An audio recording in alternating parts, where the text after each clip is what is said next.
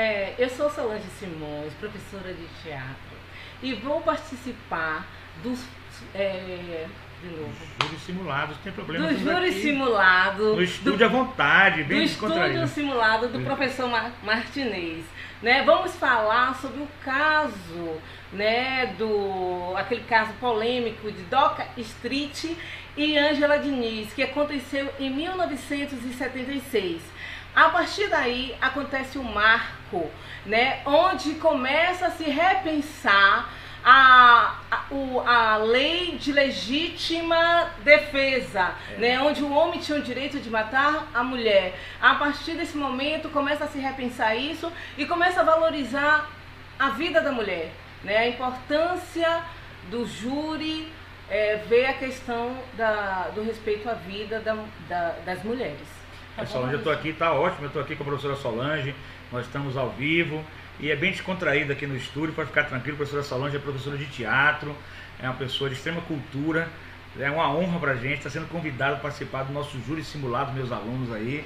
É, nossos júri simulados. E o caso, eu coloquei um caso padrão, professora, que foi o Doc Street, não é? Uhum. Que matou com quatro tiros a queima-roupa a, a senhora Ângela Diniz, que a gente sim. tem muita, muito sentimento pela dor das vítimas e familiares, não é sim, verdade? Sim. Crime é sempre uma coisa desagradável, né? O ideal é que não existisse, mas infelizmente se existe.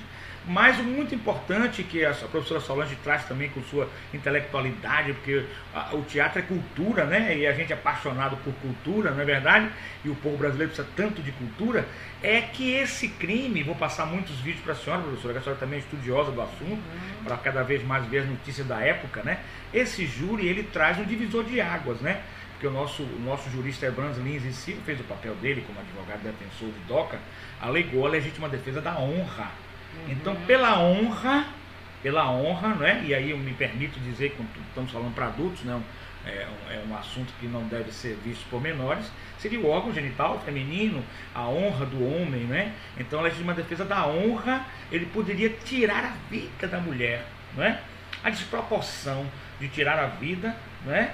É, por uma questão que não é, é, é importante, mas seria tão importante para tirar a vida, né? Então ele marca, ele é divisor de águas, ele marca a, a, a, um novo conceito social, psicossocial, digo até do inconsciente coletivo, né? Uhum. de Jung, Carl Gustav Jung, um inconsciente coletivo de que a partir daí toda a sociedade se toma consciência de que não seria uma coisa justa essa tese da legítima defesa da honra. Né? Legítima defesa, professora, para a senhora entender, é quando alguém lhe agride com uma faca, com um revólver, a senhora, ao se defender, proporcionalmente acaba matando aquela pessoa, né? Por uma injusta provocação física, né? Por uma mulher ser estuprada, ela se defender e acaba matando. Isso seria, seria legítima defesa, né? Agora mesmo passou a lei anticrime que legítima defesa seria, no caso, um, um policial que aponta para um criminoso que está com a vítima e ele acaba acertando o criminoso para defender a vida de um inocente. Então a legítima defesa tem esses valores éticos sociais. E não seria mais coerente ficou incompatível, ficou fora de, de tempo, fora de marcha, aquela marcha que a gente passa errada no carro, né, professora? Não sei se a senhora concorda, se discordar, pode discordar. É. Aquela marcha que você passa errada é a coisa da legítima defesa da honra que o homem podia matar a mulher. Então, ele, alegando essa tese, ganhou o primeiro júri, teve outro júri e ele perdeu no segundo júri graças ao movimento das mulheres na época. Então, foi um divisor de água, na minha opinião, de que isso seria o fim a impossibilidade do homem matar a mulher por legítima defesa da honra e passou-se a ter então aí até chegarmos atualmente com o feminicídio, que é um crime que visa matar uma mulher pelo fato de ser mulher, entendeu? É, é um crime de feminicídio, né, que na verdade é, vai legitimar o direito de matar. E assim, só aí já, já, já, já é um erro, porque assim, ninguém tem o direito de matar ninguém né? E, e em defesa da honra, né? É, aí entra a questão de poder, de dominação, né? Então, é, não tem como é, justificar a tese de, de legítima defesa, porque é, existia um jogo, né? na verdade, a questão da dominação e do poder do homem sobre a mulher, como se o homem tivesse o direito é, de matar a mulher por uma questão de dominação. Né? Então não, não justifica. É, perfeito. Então essa seria uma ideia da gente fazer depois o curso de teatro, né, oficina de uhum. teatro, com as vivências, com as experiências. E depois também, quem sabe, uma peça teatral, que é um sonho nosso, em cima disso.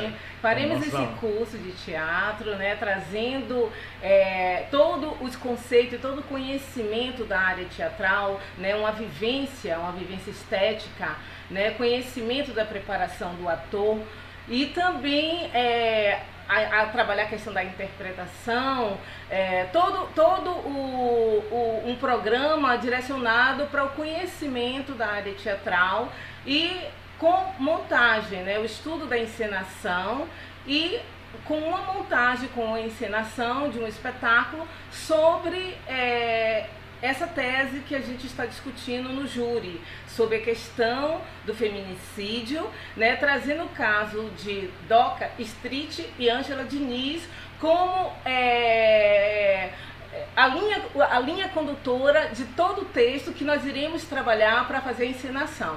Então a proposta é essa, a gente trabalhar com esse caso e a partir daí trazer, fazer uma, uma reflexão sobre feminicídio hoje né, o caso do feminicídio do Brasil, fazer essa reflexão se, se, se, se, o feminicídio hoje ele, ele, ele aumentou ou ele diminuiu, se a sociedade, qual a consciência que a sociedade traz sobre a questão do, do feminicídio.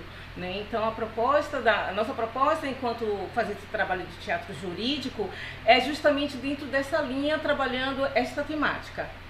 Perfeito, professor. Um prazer e já lhe convido para no júri simulado também a senhora fazer parte também, como uma testemunha, pesquisadora, algum papel que a senhora queira fazer aí para dinamizar. Eu vou ficar é, muito eu contente aceito com a senhora. e agradeço o convite, né? eu aceito e, e desde já e aceito o convite para participar desse fórum simulado, né, do júri simulado, aliás, né, participar do júri simulado e sim.